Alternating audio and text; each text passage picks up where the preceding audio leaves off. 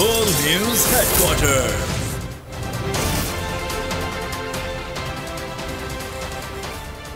अस्सलाम वालेकुम बोल न्यूज़ हेडक्वार्टर्स में खुश आमदेद। मैं हूँ महाविश निसार मैं हूँ मोहम्मद कामरान। और मैं हूँ बुशरा हक। हेडलाइंस आप जान चुके हैं इस बुलेटिन में हम बात करेंगे। कप्तान नई इनिंग्स के लिए तैयार। मरियम ने अंकल को क्या बताया? शाह की वफादारी। जुल्म के जाब्ते हम नहीं मानते।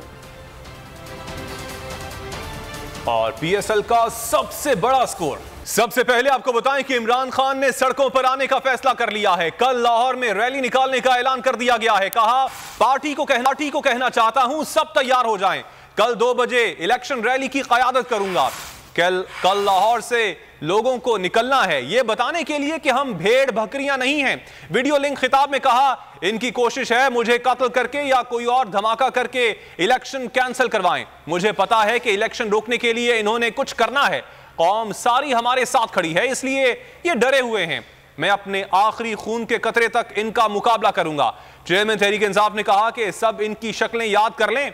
अपनी पार्टी को कहना चाहता हूँ कि आप सब तैयार हो। कल दो बजे मैं लीड करूँगा इलेक्शन की रैली। आप सब तैयारी करें और मैं इंशाल्लाह और मैं लाहौरियों को कह रहा हूँ, कल आपने मेरे साथ निकलना है बताने के लिए कि हम जानवर नहीं हैं, हम भेड़ बकरियाँ नहीं हैं, हम इंसान हैं। डर लगा हुआ है इलेक्शन का, इनको खौफ आ रहा है कि किसी तरह इमरान खान को या कत्ल करो या उसको जेल में डालो। रास्ते से हटाओ ये इलेक्शन से भागना चाहते हैं इमरजेंसी लगाना चाहते हैं। मैंने फैसला किया कि आखिरी खून के तबके जितना मेरा कतरा है आखिरी खून का मैं इनका मुकाबला करूँगा। जब मुझे गोलियाँ लगी थी तो मैंने क्या कहा अगर मुझे इंसाफ मिलना है इन तीन लोगों को रिजाइन करना पड़ेगा। मुझे कैसे इंसाफ मिल सकता है? जब उन्होंने जो कातिल जिन, जिन्होंने मुझे कत्ल करना था वो आज पावर में बैठे मुझे कैसे इंसाफ मिलना इलेक्शन कमीशन को कहना चाहता हूँ कि इनकी रेजिग्नेशन हो चीफ मिनिस्टर की आईजी की ये सीसीपीओ की। इनकी तो आप फौरी तौर पे इन, इनकी रेजिग्नेशन लें इनकी शक्लें सारे फिर से मैं कह रहा हूँ इनकी याद कर लो शक्लें। ये कौमी मुजरिम है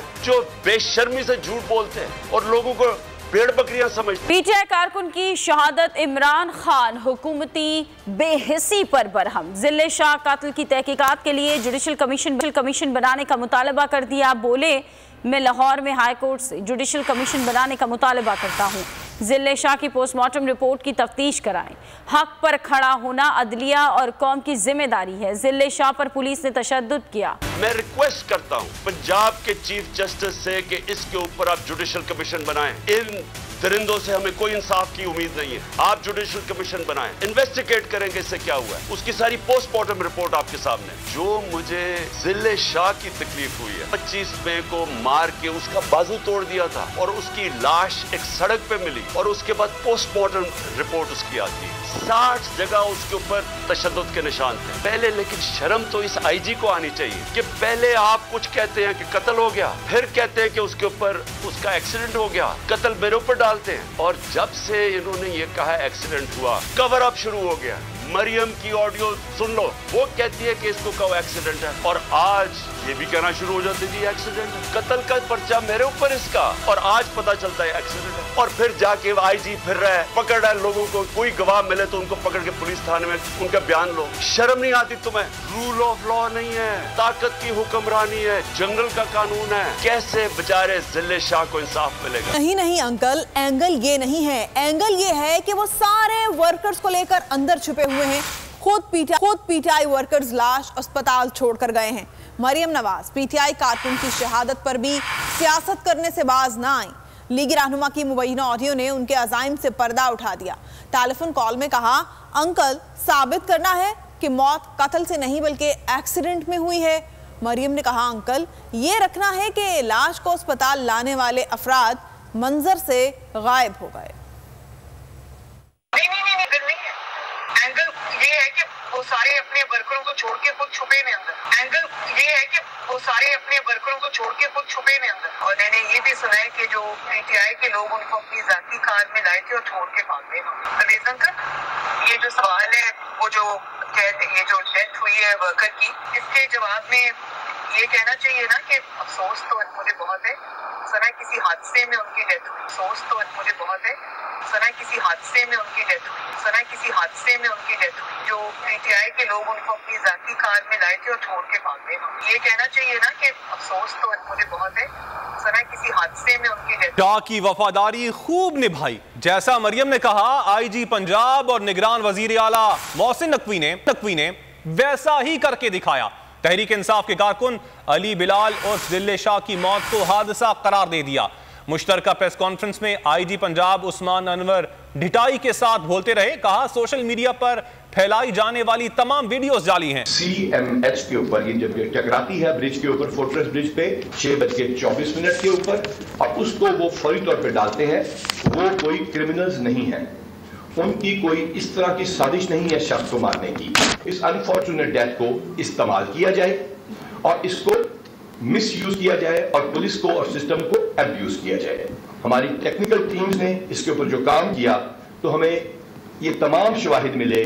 ये टेलीफोन की स्क्रीनशॉट भी आपसे शेयर की जाएगी कि किस सियासी लीडर से किस वक्त बात हुई और वो ऑडियो भी आपको दिखा दी जाएगी।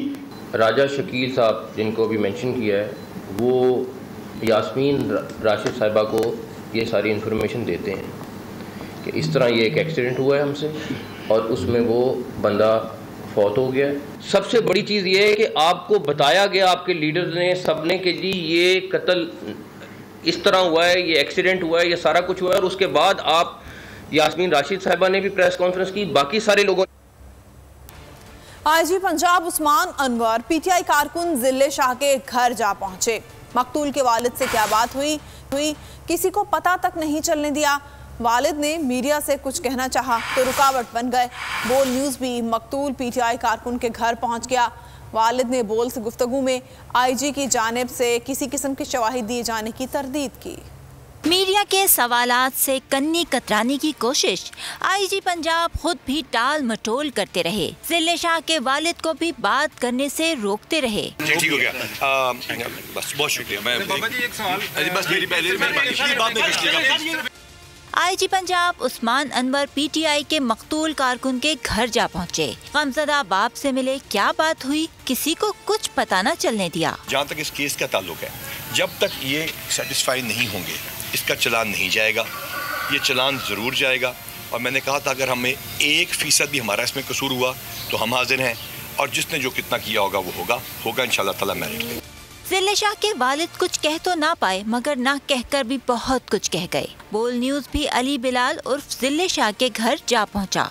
वालिद से बात की उन शवाहिद का पूछा जिनका दावा प्रेस कॉन्फ्रेंस में किया गया था। मैंने आई साहब को कहा है कि जितनी एविडेंस और सारा कुछ है सबसे पहले ये उनके पास लेके जाएँगे उनके वाले साहब के पास लेके जाएँगे।